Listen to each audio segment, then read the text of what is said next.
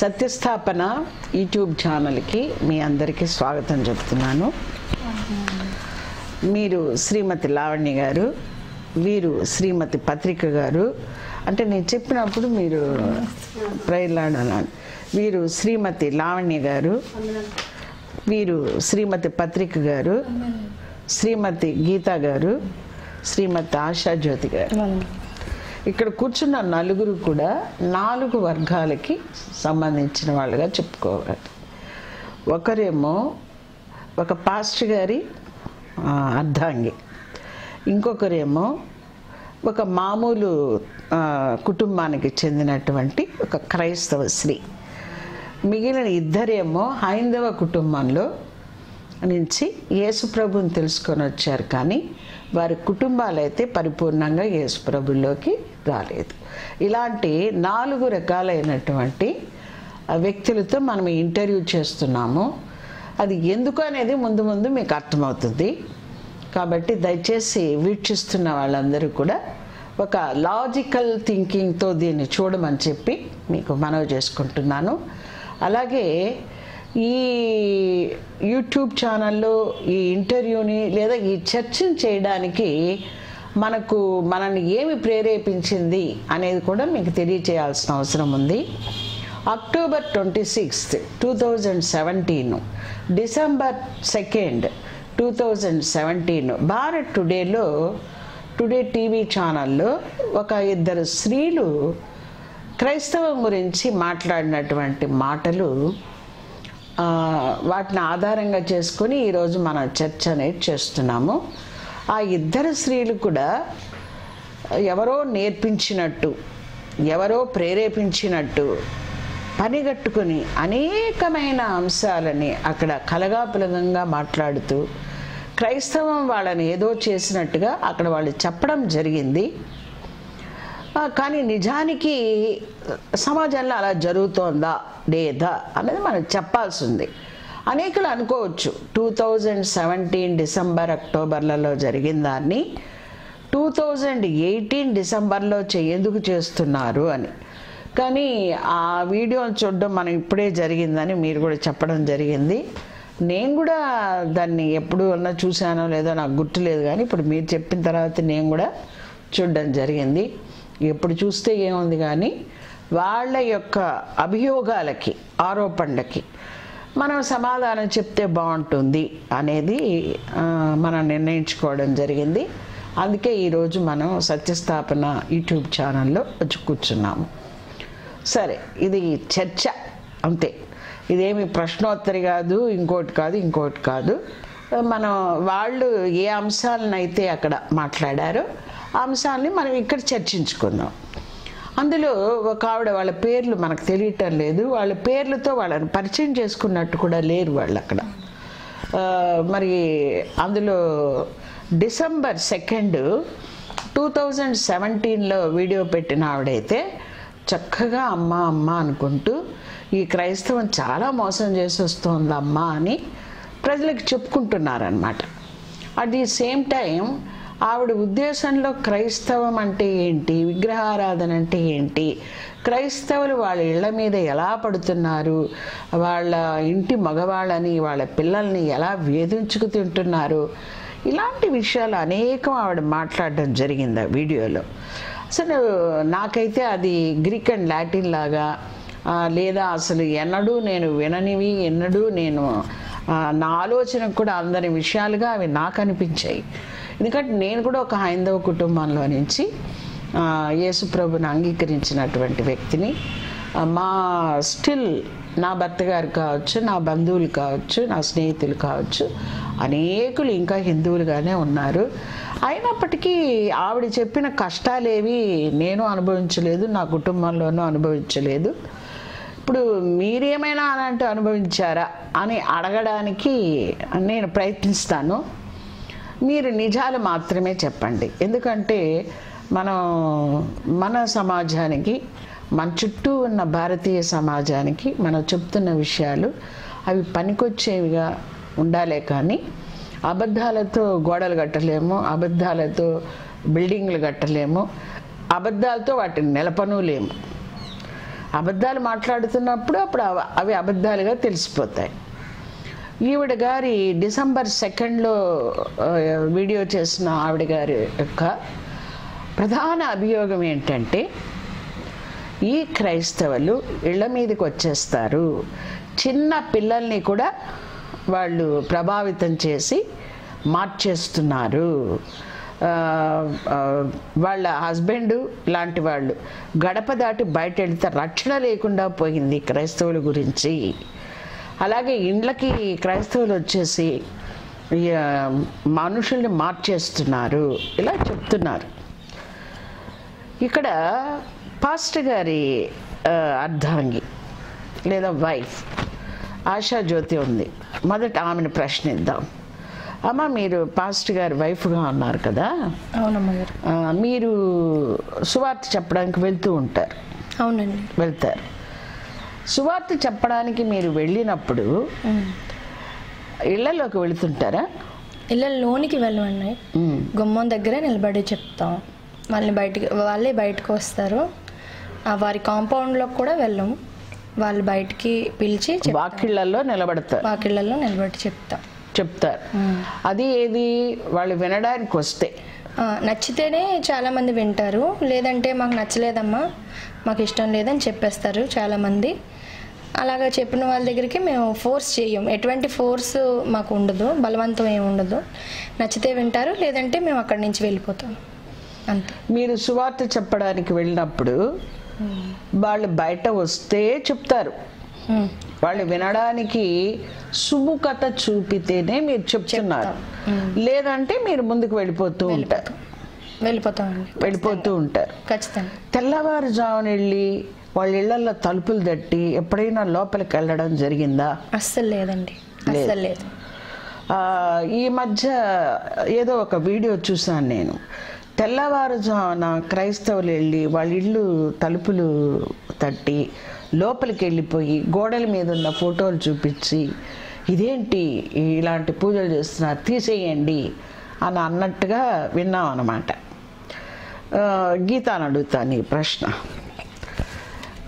అనేది మనం విన్నాం. ఇప్పుడు నిజంగా అలాంటివి జరిగే అవకాశం ఉందంటారా? ఖచ్చితంగా లేదండి. ఎవరు ఊరుకుంటారండి వాళ్ళ ఇంట్లోకి వస్తే? మన ఇంట్లోకి పోని నా- ఇంట్లోకి అనుకుందాం. నా ఇంట్లోకి ఒకరు ఒక హైందవులు వేరే ఎవరైనా అవనివ్వండి. అంత ఉదయాన్నే వచ్చి నన్ను డిస్టర్బ్ చేస్తే నేను ఊరుకుంటానా?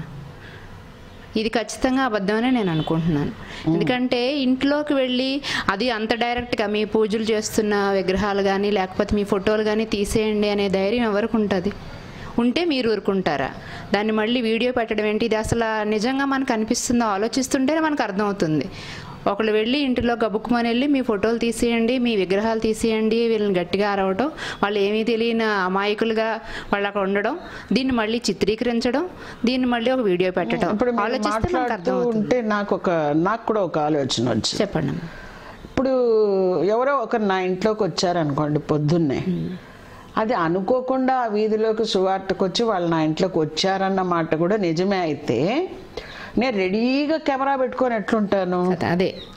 అంటే ఇది ఏదో కుమ్ముక్కయి ఒక వీడియోని చిత్రీకరించారు. చిత్రీకరించి ఉండొచ్చు అనేదాన్ని మీరు చెప్తున్నారు. అంతే. అంటే దీస్ ఆర్ ఆల్ మ్యానిపులేటెడ్ అనేది ఇక మీరు భావిస్తున్నారు. ఖచ్చితంగా మ్యానిపులేటెడ్ లాగా అనిపిస్తుంది. ఎందుకంటే మొదటగా అంత తెల్లవారుజామునే వెళ్ళరు.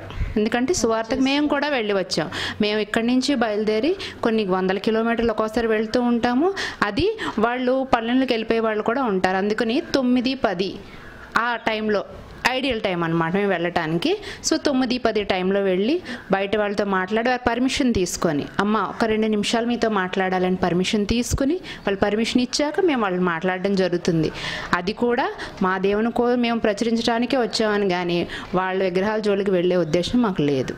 ఇది మేము ఇప్పటి వరకు నేర్చుకున్నది. ఇప్పుడు వాళ్ళు మీరు చెప్తున్నట్టుగా మరి అంత తెల్లవారుజావడం ఫస్ట్ అదొక అవాస్తవంగా కనపడుతుంది. అంత మార్నింగ్ మార్నింగే పని కట్టుకొని పని లేకుండా ఎవరు లేరు.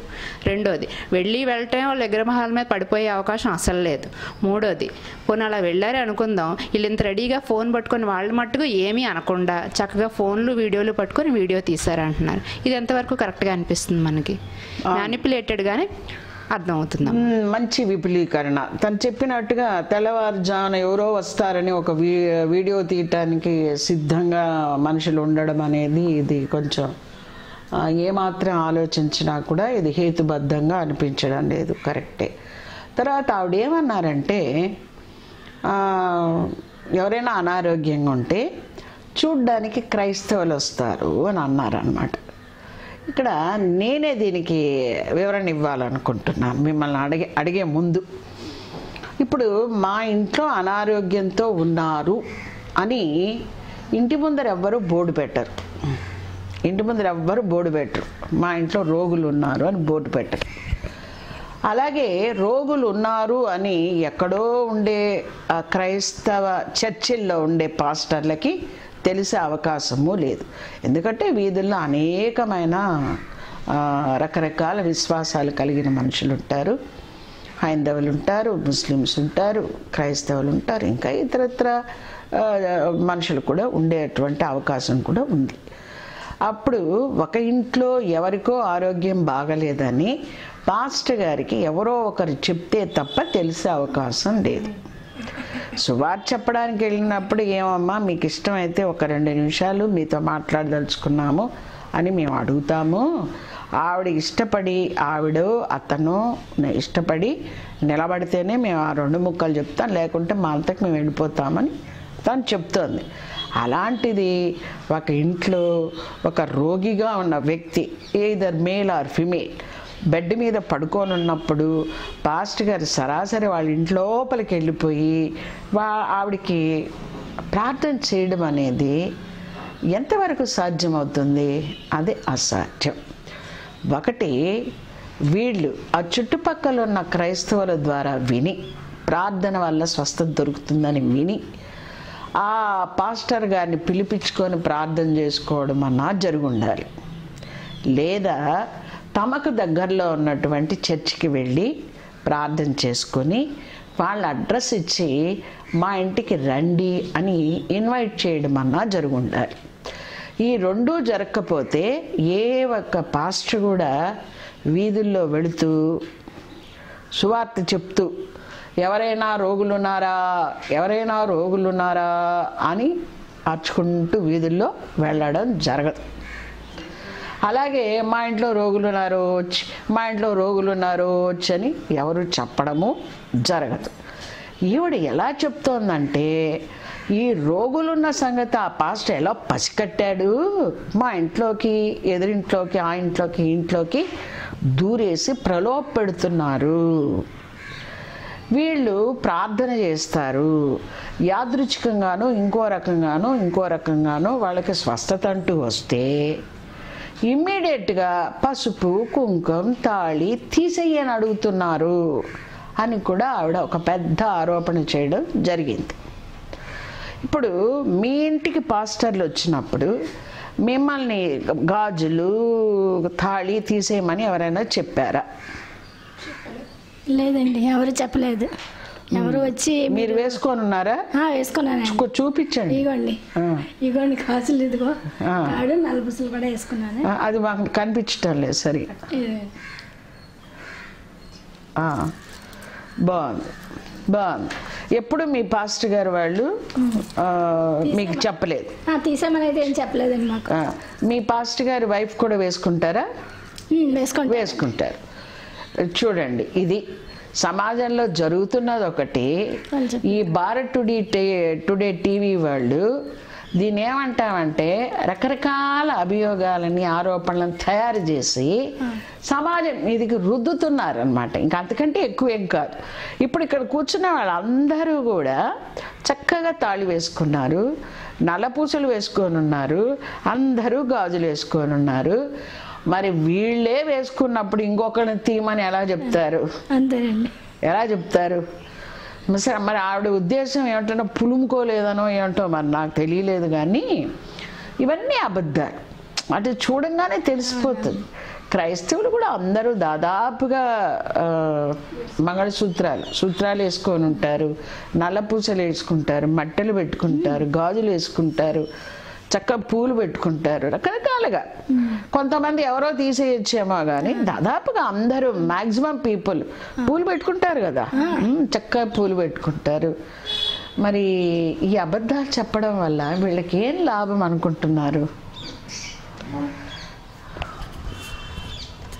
ఆడవాళ్ళకి మన సహజంగానే తెలుసు. అలంకరణ అంటే ఇష్టము. రెండో మనలో ఏంటి అంటే మరి పుట్టిన దగ్గర నుంచి అమ్మాయి ఒక విధంగా మనం కూడా అలంకరించుకొని సంతోషిస్తాము. ఇది ఏ విధంగా వాళ్ళ మైండ్లో క్రియేట్ చేస్తున్నారు అంటే మీరు క్రైస్తవంలోకి వెళ్తే మీకు ఏమీ లేకుండా చేసేస్తారు. మొత్తంగా ఒంటి మీద అన్నీ ఓడిపించేస్తారు. బోడిగా చేసేస్తారు. అది సైకలాజికల్గా కొంతవరకు బలహీనంగా ఉండడం వల్ల ఎఫెక్ట్ చేయొచ్చు. సో అది వాళ్ళ ప్రయోజనం తీసుకో తీసుకోవాలనుకుంటున్నారేమో దాని ద్వారా నేను అనుకుంటున్నాను. అదే మీ అలంకరణ వాళ్ళు తీసేయమంటారు. కాబట్టి మీరు వెళ్ళొద్దు అని ఒక రకంగా వాళ్ళకి ఇండైరెక్ట్గా చెప్తున్నట్టుగా మీరు అనుకుంటారు. ఎందుకంటే ఆడవాళ్ళు జనరల్గా కొంచెం మినిమం అలంకరణ అనేది చేసుకోవాలని కోరుకుంటారు. ఎందుకంటే భారతీయ సమాజంలో అలాంటి సాంప్రదాయం ఉంది కాబట్టి అవి తీసేయమంటారు తస్మాత్ జాగ్రత్త అని వాళ్ళు చెప్తున్నట్టుగా మీరు భావిస్తున్నారు. అంతేనా? అంతే. ఇంతే కాకుండా ఇంత మాత్రమే అభియోగాలు చేసి ఆవిడ వదిలేస్తే బాగానే ఉండేది. ఆవిడ ఇంకొంచెం ముందుకెళ్ళి ఏం చెప్పారంటే మా పక్కింట్లో ఒక క్రైస్తవురాలు ఉన్నారు. ఈ క్రైస్తవులందరూ చాలా ఘోరంగా ఉంటారు. ఈ క్రైస్తవులందరూ ఎలా ఉంటారంటే ఎవరైనా ఒక్కరు మతం మారితే ఇంట్లో మిగిలిన వాళ్ళని అందరినీ మార్చడానికి తెగ ప్రయత్నిస్తుంటారు అని అన్నారనమాట ఇప్పుడు నేను మీ ఇద్దరిని కలిపి అడుగుతున్నాను. మీ ఇద్దరి కుటుంబాలలో మీ భర్తలు మారలేదు. నాకు కూడా అనుకోండి.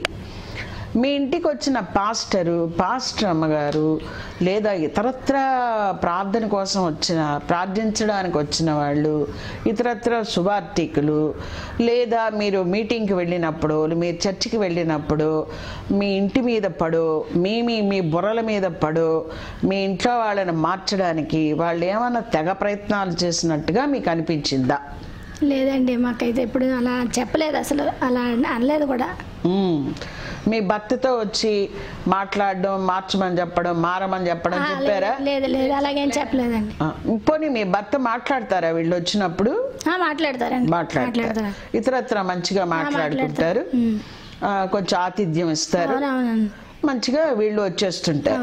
అంతేగాని మీ పిల్లల్ని మీ అత్తగారిని మీ మామగారిని మీ పక్కింటి వాళ్ళని మీ బంధువులకు ఫోన్లు చేసి మారండహో మారండహో అని అనరు. అనమాట ఇది అభియోగమే. ఇది పెద్ద ఆరోపణే. అంటే ఇలాంటి వాళ్ళకి కోర్టులలో శిక్ష అనేది ఒకటి ఉంటే వీళ్ళు ఇంతటి పెద్ద ఆరోపణలు అభియోగాలు చేయడానికి కాస్త భయపడేవాళ్ళు. ఇప్పుడు ఏమైందంటే ఎటువంటి దాని మీద ఎటువంటి చట్టాలని కానీ లేదా ఇతరత్ర అటువంటి మాటల్ని నిరోధించేటువంటి ఏ రకమైనటువంటి యాక్ట్స్ కానీ ఏమీ లేకపోవడం వల్ల ఇంతింత పెద్ద అబద్ధాలు మాట్లాడడానికి వాళ్ళు తెగిస్తున్నారు. ఆవిడ అంటది మా పిల్లలు హాలిడేస్కి ఒక ఊరు వెళ్ళారు అక్కడ పుస్తకం ఇచ్చి ఇది చదువుకోండి బైబిల్కి సంబంధించిన పుస్తకం ఏదో ఇచ్చి ఇది చదివితే ఫస్ట్ క్లాస్ వస్తుంది అని చెప్పారు. అట మా పిల్లలకి వాళ్ళ ఇంటికి రాగానే ఆ పుస్తకాలే చదవటం మొదలుపెట్టారు అని అంటున్నారు. నా అభిప్రాయం ఇక్కడ ముందు చెప్పిన తర్వాత మిమ్మల్ని అడుగుతాను. నేను కూడా క్రైస్తవంలోకి అడుగు పెట్టినప్పుడు నా పిల్లలు కూడా చాలా చిన్న చిన్న వాళ్ళు. మాస్టర్లు వాళ్ళు వచ్చినప్పుడు చక్కగా చాక్లెట్ తీసుకొచ్చి మా పిల్లల చేతిలో పెట్టి మాట్లాడేవాళ్ళు. అంత తప్ప వాళ్ళకి బైబిల్కి సంబంధించిన పుస్తకాలు ఇవ్వడము వాళ్ళని చదవమని చెప్పడము దీనికి ఫస్ట్ క్లాస్ వస్తుందని చెప్పడము తర్వాత నువ్వు వెంటనే మారిపో అని చెప్పడం ఇలాంటివి ఎప్పుడూ కూడా నాకు తెలిసినంత వరకు నా సమక్షంలో కానీ నా నా నేను లేనప్పుడు కానీ జరిగినట్టుగా లేదు. ఎందుకంటే నా సమక్షంలో జరిగితే నాకు తెలుస్తుంది. నా వెనకాల జరిగితే నా పిల్లలు చెప్తారు. సో నా వరకు అనుభవం లేదు. సో నాకు లేదు కాబట్టి ఎవరికీ ఉండదు. ఆమె చెప్పింది తప్పు అని చెప్పటానికి కూడా లేదు. కాబట్టి మిమ్మల్ని అడుగుతున్నాను. మీ పిల్లలు ఉన్నారు కదా వాళ్ళని ఎప్పుడైనా ఇలా వాళ్ళ స్కూళ్ళల్లో ఎవరైనా వచ్చి ప్రభావితం చేసినట్టు కానీ వాళ్ళకి బైబిల్కి సంబంధించిన పుస్తకాలు ఇచ్చి ఫస్ట్ క్లాసులు వస్తాయని చెప్పినట్టుగా కానీ ఏదైనా ఇన్సిడెంట్స్ ఉంటే మీరు ధైర్యంగా నిర్మోహమాటంగా చెప్పండి. మీ ఇద్దరు చెప్పచ్చు. మాకైతే మా పిల్లలకైతే ఎవరు అలా చెప్పలేదండి. ఆవిడకి ఇవ్వండి. మాకు చెప్పలేదండి. అసలు ఇప్పుడు అప్పుడు జనరేషన్ అంటే మీరు అన్నట్టు బైబిల్ అది ఇచ్చేవారు. ఇప్పుడు జనరేషన్ పిల్లలకి వాళ్ళు స్టడీ వాళ్ళ పుస్తకాలు చదువుకోవడానికి రెస్ట్ ఉంటే టీవీ చూడడానికి వాళ్ళకే టైం సరిపడు ఉదయం వెళ్ళిపోతున్నారు ఫ్లైట్కి వస్తున్నారు. ఇంకా వాళ్ళు మనం ఇచ్చిన బైబిల్ ఎక్కడ చదువుతున్నారండి? అస్సలు అది మాత్రం అబద్ధం అట్లా కాదు. కానీ నా ప్రశ్న మీకు అర్థం కాల. మీ పిల్లలు టీవీ ఎక్కువ చూసేటట్టున్నారు.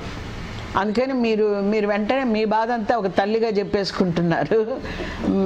అది మీదే కాదు ఈ రోజుల్లో అందరు తల్లిదండ్రులు చెప్పేది అది. ఇక్కడ ప్రశ్న అది కాదు స్కూళ్ళల్లో మీ ఇంటికి వచ్చిన పాస్టర్లు కానీ స్కూళ్ళలో ఎవరైనా కానీ మీ పిల్లలకి బైబిల్ ఇచ్చారా? లేదా బైబిల్ సంబంధిత పుస్తకాలు ఇచ్చారా? లేదండి ఇవ్వలేదండి. ఇవ్వలేదు అది ప్రశ్న. అది ఇవ్వలేదు అని మీరు చెప్తున్నారు. షూర్ అవునండి. వైజాగ్లోనే మీ పిల్లలు చదువుతున్నారు. ఎవరైనా వెళ్ళి ఎంక్వైరీ చేయొచ్చు. చేసుకోవచ్చు. చేసుకోవచ్చు. ఏం ఇబ్బందులు ఏం లేవు. సరే వీళ్ళకి ఇవ్వండి. అమ్మ మీరు చెప్పండి. మీ పిల్లలకి ఎవరైనా బైబిళ్ళు రిలేటెడ్ బుక్స్ ఇచ్చి పంపించారా? ఎప్పుడు లేదండి. మీకు? లేదండి. బైబిల్ రిలేటెడ్ బుక్స్ అయితే రాలేదు కానీ మరి సందర్భం వచ్చింది కాబట్టి చెప్తున్నాను. ఆ, శివకోటి తర్వాత రామకోటి రాసుకోమని ఇరవై వేల పుస్తకాలు చొప్పున ఒక్కొక్క కమ్యూనిటీ హాల్కి పంపించేవారు. అవి ఎంత విరివిగా వచ్చాయంటే పిల్లల చేతికి కూడా వచ్చాయి మరి. మరి ఆ విషయం వచ్చినప్పుడు ఈ విషయం కూడా చెప్పడం సందర్భోచితం అని. ఆ, మరి ఈ అభియోగం మోపిన వాళ్ళు దానికోసం కూడా ఆలోచించాలండి. పిల్లలు పుస్తకం బైబిల్ చూసి మారిపోయే పిల్లలు మరి రామకోట చూసి కూడా మారిపోతారు కదండి. చాలా మంచి విలువైన మాట. ఇది నాకు కూడా కొత్తగా ఉంది. నాకున్నట్టు. నాకున్నటువంటి ఇన్ఫర్మేషన్ ఏంటంటే నాకున్నటువంటి ఇన్ఫర్మేషన్ ఏంటి నేను కూడా ఒక స్కూల్ ప్రిన్సిపాల్గా ఉన్నాను నాకు బైబిళ్ళు తెచ్చి పంచమని చెప్పి ఎవరు ఇవ్వలేదు కానీ ఇస్కాన్ ఆ, సొసైటీ వాళ్ళు వాళ్ళు నాకు మన భగవద్గీతలోని కొన్ని అధ్యాయాలు తీసుకొచ్చి పోటీలు పెడుతుంటారు వాళ్ళు ఆ సందర్భంగా చిన్న చిన్న బుక్లెట్స్ లాగా ప్రింట్ చేసి పిల్లలందరికీ ఇచ్చి ఆ అధ్యాయాలు నేర్చుకొని వచ్చి రామకృష్ణ మెషిన్ కూడా రామకృష్ణ. మిషన్ వాళ్ళు కూడా ఇస్తూ ఉంటారు. ఇది చెప్పిన ఆవిడకి బహుశా రామకృష్ణ మిషన్ గురించి కానీ ఈ కమ్యూనిటీ హాల్కి వచ్చే ఈ పుస్తకాల గురించి కానీ పాపం ఇస్కాన్ గురించి కానీ ఏమీ తెలియనట్టుంది. ఇస్కాన్ ఎప్పటికప్పుడే మీరు చెప్పినట్టుగా క్విజ్ కాంటెస్ట్ కానీ ఎస్ఏ రైటింగ్ కానీ ఇవన్నీ కండక్ట్ చేస్తూ ఉంటుంది. అండ్ అందరూ పార్టిసిపేట్ చేయొచ్చు. బుక్స్ ఇచ్చి ఆ బుక్ మీద క్విజ్. అలాగే రామకృష్ణ మిషన్ వాళ్ళకి సంబంధించిన బుక్ ఇచ్చి ఆ బుక్ మీద పలానా రోజు మేము క్విజ్ పెడతాం ఉంటుంది మరి ఇది కూడా ఒక విధమైన ప్రాపగాండే కదా? ఒక విధమైన ఏంటి అన్ని విధాల ప్రాపగాండే అది. దాని పేరే ప్రాపగాండ ఇప్పుడు ఈవిడ గారి పేరు చెప్పలేదు కాబట్టి తల్లి అమ్మ తల్లి నువ్వెందుకమ్మా ఇట్లాంటి వాటిని గమనించడం లేదు? కొంచెం ఇవి కూడా మీరు చూడండి. ఈసారి భారత్ టుడే టీవీలో కూర్చున్నప్పుడు వీటి గురించి కూడా చెప్పి అందరినీ ఎడ్యుకేట్ చేయండి. మీరు కేవలం క్రైస్తవం మీద మాత్రమే నేను బురద చల్లుతాను అంటే చాలా తప్పు అమ్మ. చాలా తప్పు అమ్మ. చాలా తప్పు. తర్వాత ఈవిడ ఇంకో కొన్ని విషయాలు భలే చెప్పారనమాట ఏం చెప్పారంటే మా ఈ క్రిస్టియన్స్ ఏం పెట్టినా తినరు. మతంలోకి ఒకరు మారిన తర్వాత కుటుంబంలో అబ్బా చాలా హింస ఉంటుంది అనైక్యత ఉంటుంది నలగరం కూర్చొని వండుకున్నది కూడా తినలేము అని చెప్పారు ఆవిడ అది విన్నప్పుడు నాకు చాలా ఆశ్చర్యంగాను షాకింగ్గాను అనిపించింది. ఎందుకంటే మా ఇంట్లో నేనైతే యేసుప్రభుని అంగీకరించాను సంపూర్ణంగా. మా ఆయన అయితే స్టిల్ హీ ఈజ్ హిందూ మేము మా ఇంట్లో భోజనం శుభ్రంగా అందరం కలిసే చేస్తాం. ఏదైనా పండగలకి మా అత్తగారు ఊర్లు మా బంధువుల ఊర్లకు వెళ్ళినప్పుడు వాళ్ళు చక్కగా పండగ చేసుకుంటారు. భోజనాలు అప్పుడు అందరం కలిసి కూర్చొని చేస్తాం. సరే ఇక్కడ క్రైస్తవులు భోజనాలు కలిసి చేయరు అన్న మాట నేను తప్పకుండా దాన్ని అంగీకరించాను నేను. అంగీకరించలేను కూడా. ఎందుకంటే మడి తడి అనేది క్రైస్తవులకు ఉండదు. వాళ్ళు ఎక్కడికి వెళ్ళినా ఎవరు పెట్టినా చక్కగా భోంచేస్తారు. ఒకవేళ తినలేని పదార్థాలు ఉంటే మేము తినమని చెప్తారేమో కానీ అంటే నా ఉద్దేశం వెజ్ తినేవాడు నాన్ వెజ్ నాన్ వెజ్ తినేవాడు ఇంకేదో పెడితే నాకు వద్దని చెప్పచ్చు. నేను ఒక క్వశ్చన్ వేస్తున్నా. అమ్మ నువ్వు బ్రాహ్మణ్గా ఉన్నావు కదా. ఒకవేళ నువ్వు బ్రాహ్మణ్ అవునో కాదో ఒకవేళ కాకపోతే నన్ను క్షమించండి. ఒకవేళ నాన్ వెజ్ తినని మనిషి అయితే గంగమ్మలకు పెడతా ఉంటారు పెట్టిన వాళ్ళందరూ కోడి కోస్తారు. అది ప్రసాదమే. నువ్వు తింటావా ప్రసాదం అని? నువ్వు తినగలవా? తినలేవు కదా. మరి వాళ్ళ వాళ్ళ పద్ధతి ప్రకారం వాళ్ళు తినగలిగింది తింటారు తినలేంది తినరు. కుటుంబంలో అనైక్యత ఎందుకు వస్తుంది? కుటుంబంలో ఎందుకు వస్తుంది? ఇప్పుడు మీరున్నారు. మీ ఇద్దరు భర్తలు చక్కగా హిందువులుగానే ఉన్నారు. మీ ఇంట్లో భోజనాలు కలిసి చేయరా? కలిసే చేస్తాం. అంటే మీరు ముందు గుమ్మంలో భోంచేస్తే మీ ఆయన వెనక గుమ్మంలో భోంచేస్తారా లేదండి. అందరం కలిసే చేస్తాం. కలిసే చేస్తారు. ఈవిడికి ఇవ్వండి. మేము కూడా అందరం కలిసి తింటాం. కలిసే చేస్తారు. మరి ఆవిడ చూడండి ఎలాంటి మాటలు. ఆ టీవీ యాజమాన్యాన్ని ప్రశ్నించే వాళ్ళు లేకుండా తయారవుతున్నారు టీవీ వాళ్ళు? ఇప్పుడు నా నాకు కూడా ఉంది. మా బంధువుల ఇళ్ళకి వెళ్ళినా కూడా చక్కగా అందరం కూర్చొని పెద్ద పెద్ద పంక్తులు తీరి భోజనాలు చేస్తాం. ప్రసాదాలు తినరా అని అడగందా అడిగిన దానికి నేను చెప్తున్నా.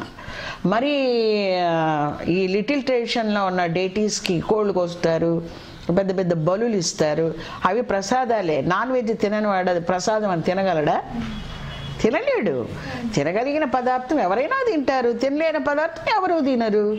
దాంట్లో నువ్వు కో- నువ్వు ప్రశ్నించేదేముంది ఇక్కడ ఈవిడ ఈవిడ అబద్ధాలని పాపం అతికినట్టు కూడా చెప్పలేని పాపం ఒక బలహీనత ఉంది ఆవిడలో. ఈ అబద్ధాలకి ఒక సపోర్ట్ తెచ్చుకుంది పాపం. కానీ ఆ సపోర్ట్ నిలబడలేకుండా ఊగిసలాడుతోంది అక్కడ. ఆ సపోర్ట్ ఏంటంటే అవును బలహీనంగా ఉంది అది. ఆవిడ సపోర్ట్ ఏం వెతుక్కుందంటే ఎవరో వాళ్ళ పక్కింట్లో ఉన్న ఒక క్రైస్తవ ఆవిడ వచ్చేసి ఆవిడ పేరు చెప్పాల్సింది. ఆవిడ పేరు చెప్పి ఆవిడని చూపించుంటే బాగుండేది మనం నమ్మేవాళ్ళం. ఆమె వచ్చి ఏమైనా లడ్డు తిరుపతికి వెళ్ళ తిరుపతికి వెళ్ళినప్పుడు లడ్డు తెచ్చి పెట్టండి ఆంటీ అనిందంట. అది ఓకే అనుకుందాం కొంతవరకు. నాకు కొబ్బరి చిప్పి లేదే వీధిలో అందరికీ కొబ్బరి చిప్పలు ఇచ్చారే అంటే ఈవిడేమన్నా కొబ్బరి చిప్పల వ్యాపారం చేస్తుందా. ఈవిడేమైనా గుళ్ళో పూజారి వైఫా? ఈవిడింటికి అన్ని కొబ్బరి చిప్పలు ఎందుకు వస్తాయి? ఈవిడ వీధిలో అందరికీ చిప్పలు పంచడం ఏంటి? ఆ అమ్మాయి నాకు కూడా ఓ చిప్ప ఇవ్వండి అని అడగడం ఏంటి? ఆ అమ్మాయి చాలా తెలివైంది లాగుంది కడిగేసి పచ్చడి చేసుకుందాం అనుకున్నట్టు ఒకవేళ అది నిజం అయితే.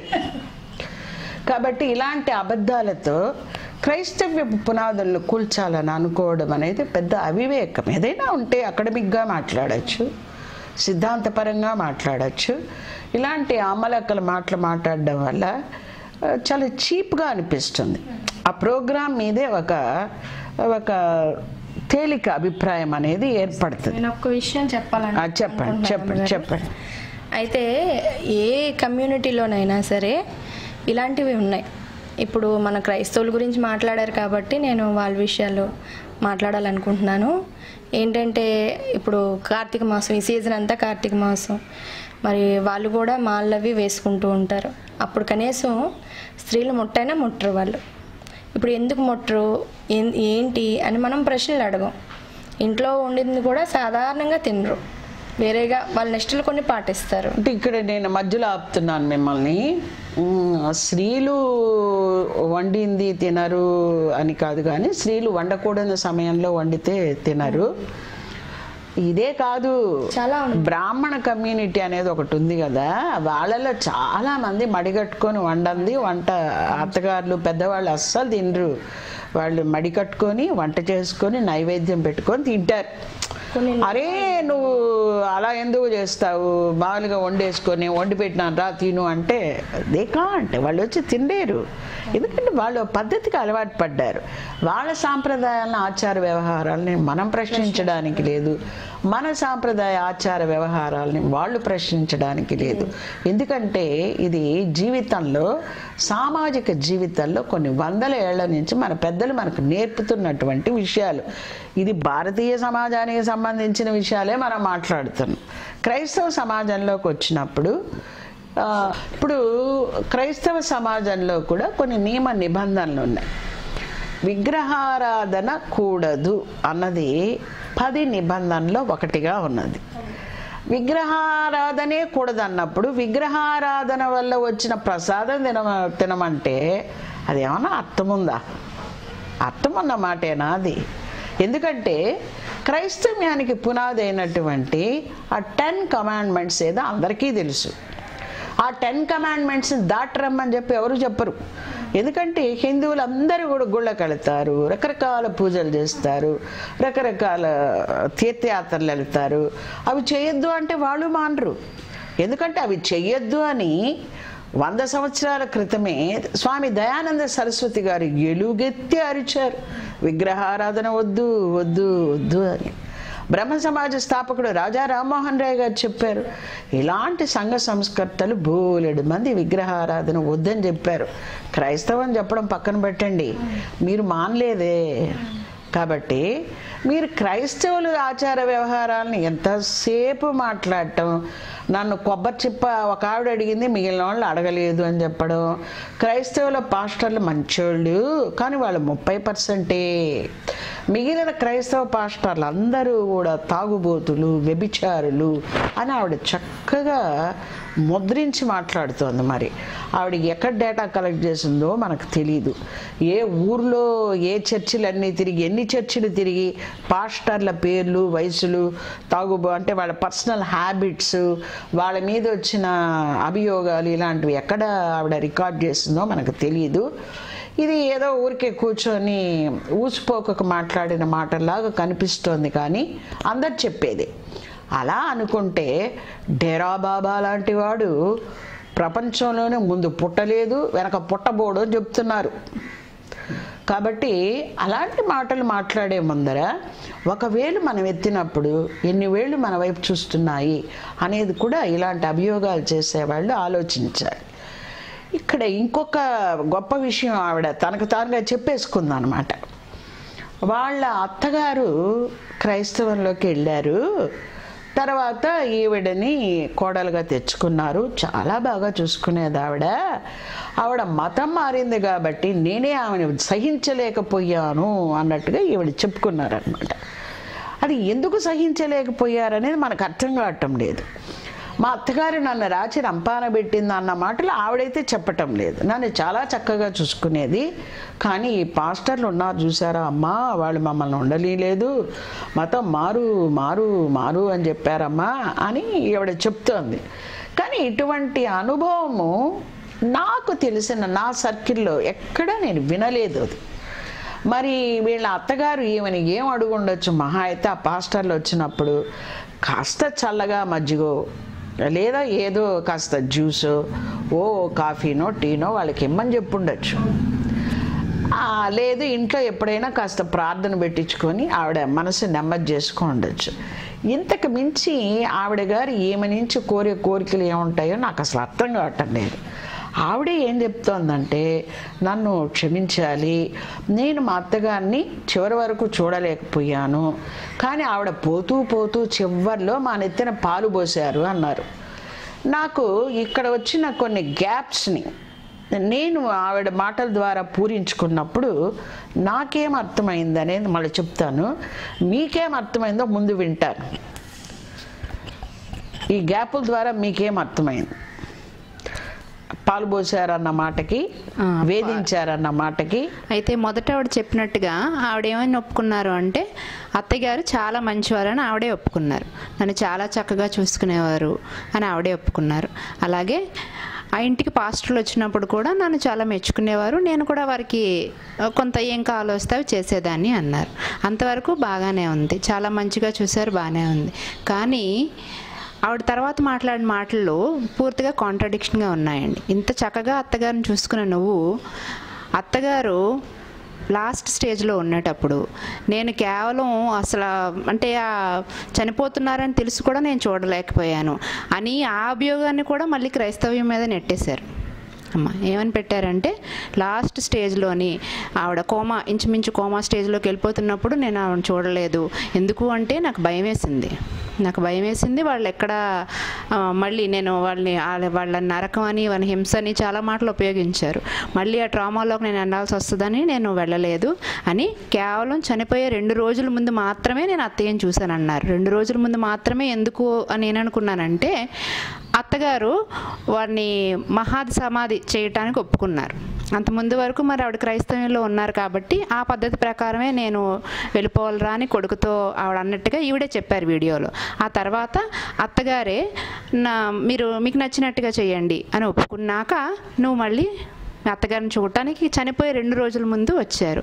ఇక్కడ ఒక విషయం మీరు మిస్ అవుతున్నారమ్మా. మతం పిచ్చిలో పడిపోయి కనీస మానవత్వాన్ని వదిలేశారు ఆవిడ. అది బేసిక్ థింగ్ అది వదిలేసి కేవలం అంటే ఆవిడ విశ్వాసం నీ విశ్వాసానికి వేరుగా ఉంది. నిన్ను ఏ విధంగానూ హింసించలేదని మీరే చెప్తున్నారు. చాలా మంచి ఆవిడనే మీరే చెప్తున్నారు. ఇంత బాగా చెప్పినావండి చిన్న పాయింట్ మీరు మిస్ అయ్యి ఏదైనా ఏ విశ్వాసాన్ని మనకి ఏం చెప్తుంది? మనుషులు మనుషులుగా చూడమని. ఆ విషయం వదిలేసి అక్కడ చనిపోయే స్టేజ్ అప్పుడు కూడా ఆవిడ దగ్గరికి రాలేదు. ఇప్పుడు క్షమించమ్మా అని ఎంతో గొప్పగా చెప్తున్నారు కానీ క్షమించే తప్పైతే మీరు చేయలేదని అనుకుంటున్నాను. ఇక్కడ నా వ్యూ ఏంటంటే అత్తగారు క్రైస్తవులు ఈవిడిని వేధించలేదు. ఈవిడ వేధించారు మొత్తాన్ని. ఈవిడ వేధించారు. ఈవిడ భర్త ఈవిని ఎంతగా వదిలేశారంటే వాళ్ళ తల్లిగారిని ఈమె పట్టించుకోకపోయినా ఆమె ఆయన పట్టించుకోలేదు. కాబట్టి నేనేమనుకుంటున్నానంటే ఈమె భర్త గారిని కూడా తొక్కేసింది. వాళ్ళ తల్లికి నీళ్ళు పోయకపోయినా ఆయన ఈమెను పట్టించుకోని స్థితికి ఆయన మీద ఈమె పెత్తనం తీసుకొచ్చేసింది. అత్తగారిని చివరి క్షణాల వరకు పట్టించుకోలేదు. పైగా వరుసగా బంధువుల్ని పంపిస్తూ పంపిస్తూ పంపిస్తూ ఆమె మీ ఇష్టం ఇక అనే స్థితికి అత్తగారిని తీసుకొచ్చేసింది. చనిపోయే స్థితిలో ఉండే ఒక వృద్ధురాలి మీద ఈవిడ ఎంతటి ఒత్తిడి పెంచింది అనేది ఆవిడ మాటల ద్వారా మనకు అర్థమవుతుంది. అవును. నిజంగా క్రైస్తవులు వేధించలేదు కానీ తల్లిగారు వేధించినట్టు మాత్రం బాగా స్పష్టంగా తెలుస్తోంది మనకి. ఇక్కడ నేను ఒక మాట ఆవిడ గారికి చెప్పదలుచుకున్నాను. ఆవిడ పేరు తెలియలేదు కాబట్టి. తల్లి నీకు ఒక రిక్విజిషన్ వినతి విజ్ఞాపన. నువ్వు మతం మారిన అత్తగారిని ఎవరో పాస్టర్లు వచ్చి నీతో రెండు మాటలు మాట్లాడతారని నువ్వు ఆవిడని దూరంగా పెట్టి ఆవిడ మహా సమాధి కోసం నువ్వు వెంపర్లాడిపోయావు. నేను యేసుప్రభుని అంగీకరించాను. మీ యొక్క పరిభాషలో మతం మారాను కానీ ఎక్కడో పల్లెలో ఇద్దరి కొడుకులు ఒక కూతురు అనేక బంధుజనం మధ్యలో ఉన్న నా అత్తగారిని బలవంతంగా ఆవిడకి అక్కడ మెడికల్ ఫెసిలిటీస్ అందడం లేదనే ఒక రీజన్తో ఆమెను తీసుకొని వచ్చి మా ఇంట్లో ఉంచుకొని ఆవిడ చనిపోయే వరకు కూడా ఆవిడని చక్కగా చూసుకొని ఆవిడ కోరుకున్న పద్ధతిలో ఆవిడ చివరి యాత్రను అరేంజ్ చేసి ఆవిడ ఏ ఏ కోరికలు వెలిబుచ్చారో అవన్నీ కూడా చక్కగా నెరవేర్చాను. నేను మా ఆయన. ఇప్పుడు ఒక క్రైస్తవరాలికి క్రైస్త అంటే క్రీస్తుని ద్వేషించే ఇంకొక మనిషికి ఉండే తేడాని మీరు గమనించుంటారు ఇప్పటికీ. ఎందుకంటే ఒక వృద్ధురాలు అసహాయ స్థితిలో ఉంది. తన మనసుని యేసుప్రభువుకు సమర్పించుకుంది. ఆవిడ ఉనికిని నువ్వు భరించలేకపోయావు. నువ్వు ఏ రకంగా భారతీయ సమాజానికి నువ్వు ఏ రకమైనటువంటి సందేశాన్ని ఇవ్వగలవును అని నువ్వు అనుకుంటున్నావు?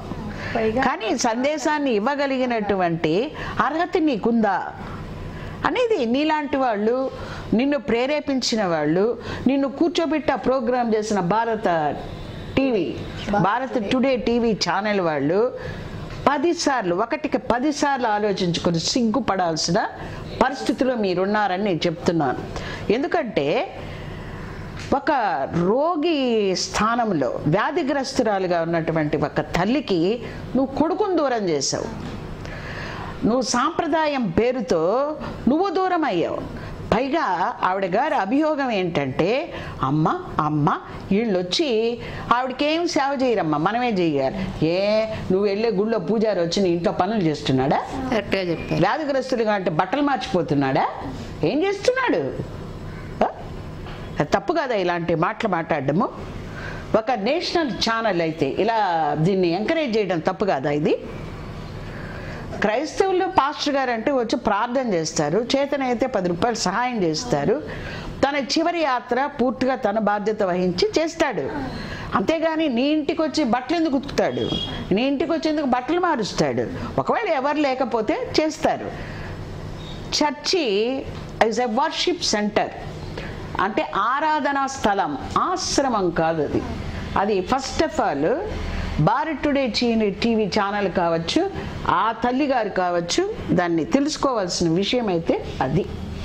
ఈవిడ ఇదే కాకుండా ఇంకోటి చెప్పింది అనమాట ఏమనంటే ఈ పాస్టర్లు అందరూ చాలా ప్రేమిస్తారు. వాళ్ళంటే నాకు చాలా ఇష్టం అంటూనే ఈ విగ్రహారాధన గురించి మాట్లాడుతూ విగ్రహారాధన అంటే దేవుడిని ధ్యానించడానికి ఒక కేంద్రాన్ని ఏర్పరచుకోవడానికి ఒక విశ్వాసాన్ని పెంపొందించుకోవడానికి అది ఆలు నేర్చుకున్నట్టుగా విగ్రహారాధన. తర్వాత ఎంఏ కడతాము అంది. ఈవిడ ఇప్పటికీ అమ్మవారు అమ్మవారు అయ్యవారు అంటూనే ఉంది ఈమె. ఈమె ఎంఏకి ఎప్పుడు వెళ్తుంది? ఇక్కడ ఆమెకేసే ప్రశ్న కాదు ఇది. నాకు నేను కూడా వేసుకుంటున్న ప్రశ్న. నా తల్లి కావచ్చు నా తాతగారు కావచ్చు నా అమ్మమ్మలు నానమ్మలు మేనత్తలు మేనమామలు వీళ్ళందరూ కూడా ఆలు దిద్ది దిద్ది దిద్ది దిద్ది దిద్ది చచ్చిపోయినారంతే. వాళ్ళు ఎంఏకే వెళ్ళాల. వీళ్ళ ఆత్మలకి ఎవరు పూచి ఎవరు బాధ్యత వహిస్తారు? వీళ్ళ ఆత్మల రక్షణ చెయ్యలేని దౌర్భాగ్య స్థితికి ఏ సమాజం జవాబు చెప్తుంది? ఆవిడ అంటుంది ఆలు దిద్దడం ఎంఏలు అని. ఆమె ఎంఏకి పోయినట్లే. ఆమె చెప్తోంది అమ్మవారే నాకు అన్ని అమ్మవారే నాకు కన్య అని. నీ నిరాకార నిర్గుణ స్వరూపాన్ని నేను ఈశ్వర స్వరూపాన్ని తెలుసుకున్నాను? ఆమె చెప్పలేకపోతుంది. చెప్పను లేదు. ఆవిడ ఇంకో మాట కూడా అన్నారు అందులో. అది ఏంటంటే నేను అహోబిలం వెళ్ళాను. ప్రహ్లాదుడు స్తంభంలోంచి రమ్మంటే నృసింహస్వామి వచ్చారు. మంచిది. మనం కూడా విన్నాం ఈ కథ. బాగానే ఉంది. తప్పేం లేదు. తనకు తెలిసింది తను చెప్పుకుంది అలాగే జోగులాంబ అమ్మవారిని అలాగే ఉజ్జయిని వెళ్ళి మహాకాళిని నేను చూశాను అంది. చాలా మంచిది. కానీ ఒక్క సిలువ కూడా అక్కడ లేదు. దుష్ట భావనతో చెడు భావనతో అక్కడికి వచ్చే వాళ్ళని ఆమె ఏరిపారేస్తుంది అంది. అదేంటి? అది ఆ మాటలకు అర్థం ఏంటి? ఉజ్జయినిలో ఉన్న మహాకాళి చాలా మంచి దేవత చాలా పవర్ఫుల్ గాడ్ అని తను చెప్పుకోవడంలో తప్పలేదు ఎందుకంటే తన ఇష్టం తను వెళ్ళారు చెప్పుకుంటున్నారు. కానీ అట్ ది సేమ్ టైం దుష్ట భావనతో చెడు చేయాలని వచ్చాడు. ఏరి పారేస్తారంటే ఎవరు వాళ్ళు? నీ ఉద్దేశంలో ఎవరు? నువ్వు సిలువాని ఉటంకించావు. నువ్వు సిలువ మాత్రం అక్కడ ఎక్కావు. అంటే క్రైస్తవులు చెడు చేసేవాళ్ళ? క్రైస్తవులు చెడు చేసేవాళ్ళైతే నువ్వు నీ మహాసమాధికి క్రైస్తవులు ఎందుకు ఒప్పుకుంటారు? ఎందుకు పక్కకు పోతారు? కదా. క్రైస్తవులు చెడు చేసేవాళ్ళైతే మా ఇంట్లో వ్యాధిగ్రస్తులు ఉన్నారు కొంచెం వచ్చి ప్రార్థన చేయండి అంటే ఎందుకు వచ్చి ప్రార్థన చేస్తారు నీ ఇంటికి? కాబట్టి ఏమి ఈ మాటలన్నిటికీ కూడా పేర్చుకుంటూ వెళితే ఈవిడ పనిగట్టుకొని ఉగ్రవాది కన్నా తీవ్రవాది కన్నా ఒక చెడు భారతీయ సమాజానికి ఒక చెడు చేసి అమాయకులైన వారి మనసుల్ని కలతపరిచి వాళ్ళని అంటే దిగజార్చే ఆత్మోన్నతి మార్గంలో ప్రయాణించకుండా దిగజార్చే తల్లిలాగా నాకు కనిపిస్తోంది. ఇక్కడ ఈ తల్లి గారికి ఇంకో మాట నేను చెప్పదలుచుకున్నాను. నేను అప్పుడప్పుడు నాకు వేలాంగణి వెళ్ళేటువంటి అలవాటు ఉంది వేలాంగణిలో అంటే నా రీసెర్చ్ డేస్ నుంచి అక్కడ నాకు అక్కడికి వెళ్ళడం అనేది నాకు అలవాటైంది.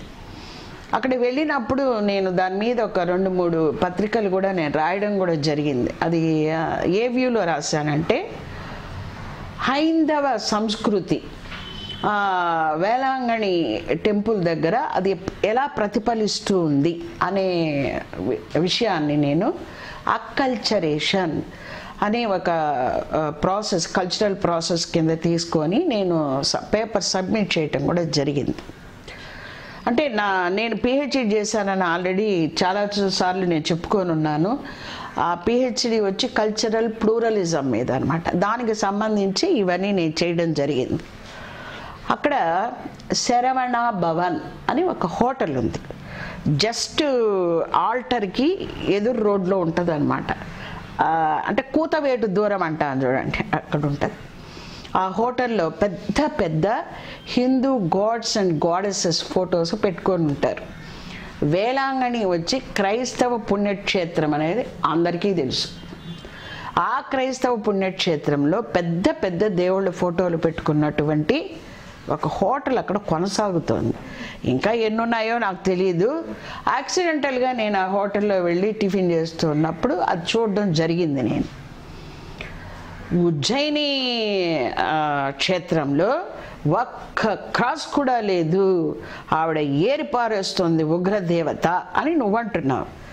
అదే వీడియోలో మేము సహనము కలిగిన వాళ్ళం ప్రేమ కలిగిన వాళ్ళం కొబ్బరి చెప్పలు పంచేవాళ్ళం లడ్లు పంచేవాళ్ళం నువ్వే చెప్తున్నావు. భారతీయ సమాజానికి పనికిరాని మాటలు నువ్వు ఇన్ని మాట్లాడుతున్నావు. క్రైస్తవ పుణ్యక్షేత్రంలో ఆ గాడ్స్ అండ్ గాడెసెస్ ఫొటోస్ పెట్టుకొని హోటల్ వ్యాపారం చేసుకోవడానికి వేలాంగణి పుణ్యక్షేత్రపు అధికారులు వచ్చి దాన్ని ఒప్పుకున్నారు. సహనం ఎవరికి ఉంది సహనం ఎవరికి ఉంది కాబట్టి తల్లి ఏదైనా అనే ముందర కొంచెం జాగ్రత్తగా ఆలోచించానండి. తర్వాత October twenty sixth two thousand సెవెంటీన్లో చేసినటువంటి ఒక వీడియోలో ఇంకొక తల్లిగారు సహోదరి లేకపోతే.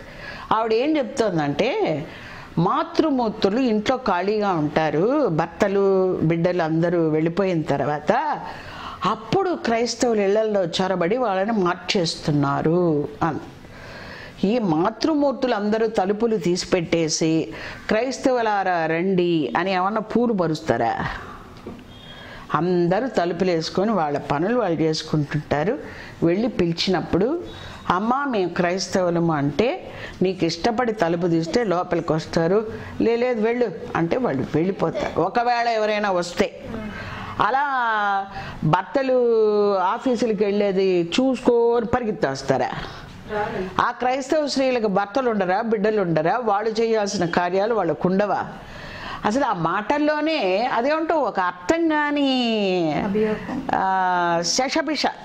ఒక తికమక గత్రబిత్ర. ఇంకేదో ఇంక దానికి ఏమన్నా ఏమన్నా చెప్పుకోవచ్చు.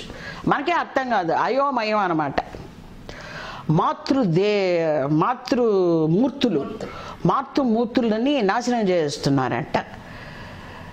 ఈ మాతృమూర్తులకి వీళ్ళు భారత్ టుడే టీవీ ఛానల్లో కూర్చొని చెప్తే ఏం అర్థమవుతుంది? ఈవిడ కూడా ఇంటింటికి వెళ్ళొచ్చు కదా? వెళ్ళి ఇంటింటికి వెళ్ళి చెప్పాలి కదా? భారత్ టుడే టీవీ ఛానల్లో కూర్చొని చెప్పినంత మాత్రాన మాతృమూర్తులకి ఎలా వెళ్ళిపోతుంది ఆ మాటలు? ఒకటి. ఆవిడ ఇంకా చాలా చక్కగా కొన్ని చెప్పింది ఏంటంటే సామర్లకోట ఈశ్వర్రావు మతం మారలేదంటూ భార్య గొడవ చేస్తోందంట. సామర్లకోటలో ఈశ్వర్రావు గారని ఒక అతను ఉన్నారు ఆవిడ ఆయన భార్య మతం మారింది. ఈయన మతం మారలేదని ఆవిడ గొడవ చేస్తూ వంట కూడా చేయకుండా ఆయనకు అన్నం పెట్టకుండా వేధిస్తూ ఉందంట. అమ్మా ఇది పురుషాధిక్య సమాజం తల్లి. బహుశా మీ ఆయన ఏమన్నా అన్ని విధాలా మీకు చేదోడు వాదోడు ఇంకో రకంగా ఉన్నాడేమో నాకు తెలియదు కానీ ఇది పురుషాధిక్య సమాజం తల్లి వంట చేయకుండా అన్నం పెట్టకుండా నువ్వు క్రైస్తవుడిగా మారతావా లేదా అంటే ఆ తర్వాత శ్రీగతి ఉంటుంది. అదో గతి. ఇదేమి సినిమా కాదు. ఎవరో రాసిన డైరెక్షన్లో ప్లే చేయటం అస్సలు కాదు. ఏ భర్త అయినా నువ్వు మతం మారుతావా లేదా? లేదా నేను వంట చేయనంటే ఆ తర్వాత భార్య కథ ఉంటుంది. ఈవిడే ఇంకోటి చెప్పింది. కొండపల్లి గ్రామంలో ఒక రైతయ్య భార్య మతం మార్చుకుని వెళ్ళిపోయిందంట. ఎక్కడికి వెళ్ళిపోతుంది? పాస్ట్ గారు ఏమన్నా ఆశ్రమం పెట్టారా? లేకపోతే ఇంకేమన్నా సత్రం పెట్టారా? వచ్చే వాళ్ళందరం చేర్చుకుని అన్నాలు పెడతారా? ఎక్కడికి పోతుంది ఆ మతం మార్చుకొని? ఇక్కడ ఈ రెండు అభియోగాలు కూడా నేను సుమారుగా నాలుగు సంవత్సరాల కాలం అనేకమైన పల్లెలు అనేకమైన ఊర్లలో క్రిస్టియన్స్ మీద నేను స్టడీ చేశాను. అప్పుడు ఎక్కడ కూడా నేను ఇలాంటివి నేను వినలేదు చూడలేదు. నేను ఎక్కువగా పెదకొట్టాల అని రెడ్డి కన్వర్ట్స్ ఉన్న ఒక విలేజీ అలాగే ఉరుటూరు అనేసి రెడ్డి కన్వర్ట్స్ ఉండే ఒక విలేజీ మరియాపురంలో కూడా రెడ్డి కన్వర్ట్స్ చాలామంది ఉన్నారనమాట అలాంటి చోట కూడా నేను చేశాను. అక్కడ మతం మారి భర్తల్ని హింసించే భార్యలు నేను ఎక్కడా చూడలే. మతం మారిన భార్యని భయంకరంగా కొట్టి ఇంకా భయంకరంగా హింసించిన భర్తలు ఉండే భార్యలు మాత్రం చాలామంది ఉన్నారు. అలాంటి వాళ్ళ సాక్ష్యాలు కావాలంటే మేము చాలా ఇప్పించగలము. కానీ అది నా ఉద్దేశం కాదు. బురద చల్లద్దు. బురద నువ్వు చల్లినప్పుడు ఆ బురద ముందు నువ్వే చేత్తో తీసుకుంటావు. కంపు మొత్తం నువ్వు భరిస్తావు. ఎదుటోడి మీద కంపు చేయాలి ఎదుటోడి మీద బురదెయ్యాలి ఎదుటోడిని నాశనం చేయాలి అనుకుంటే ముందు దాన్ని మీరే అనుభవించాలి. ఏటోడి మీద బురద వేయాలంటే ఆ బురద నువ్వు ముందు ముట్టుకోవాలి. ఏటోడిని కంపు చేయాలంటే ఆ కంపు ముందు నువ్వు భరించాలి. ఏటోడిని నాశనం చేయాలంటే ఆ నాశనాన్ని ముందు నువ్వు భరించాలి. కాబట్టి మీరిద్దరూ చక్కగా తల్లుల్లాగున్నారు. తల్లులాగే ఆలోచించండి. తల్లుల్లాగా సమాజానికి సలహాలు ఇవ్వండి సమాజాన్ని మంచి మార్గంలో నడిపించండి. ఆ విషయంలో మాకు ఎటువంటి ఐ మీన్ అబ్జెక్షన్ లేదు అభ్యంతరం లేదు. తప్పకుండా మా మాటల్ని కూడా మీరు వినండి. భారత్ టుడే టీవీ ఛానల్కి కూడా ఒక ప్రత్యేకమైన వినపం ఏంటంటే అబద్ధాలతో ప్రోగ్రాములు చేయొద్దు. ఒకవేళ మీరు అబద్ధాలతో ప్రోగ్రాం చేయాలి అని అనుకుంటే దానికి మాకు సరైన అవగాహన కలిగే రీతిలో ఆధారాలతో మీరు వాటిని నిరూపించటానికి కూడా రెడీగా ఉండాలి. అని నేనే కాదు. ఇక్కడ కూర్చున్న స్త్రీలే కాదు. ఇక్కడ కూడా చాలామంది ఉన్నారు. కాకపోతే మాది నేషనల్ ఛానల్ మాకు నాలుగు కెమెరాలు లేవు కాబట్టి అందరినీ మేము చూపించలేకపోతున్నాము. మాది యూట్యూబ్ ఛానల్ మాది చిన్న కెమెరా కాబట్టి మమ్మల్ని మేము మాత్రమే మీకు ప్రజెంట్ చేయగలిగాము. దయచేసి మరొక్కసారి మరొక్కసారి మరొక్కసారి మీకు మా విన్నపం ఏంటంటే మా మీద బురదేసే ఈ సమయాన్ని సమాజంలో మంచి కార్యాలు చేయటానికి వెచ్చించమని మంచి మంచి ప్రోగ్రామ్స్ చేసి మంచి పేరు తెచ్చుకోమని భారత్ టుడే టీవీ వాళ్ళని కూడా మేము కోరుకుంటున్నాం.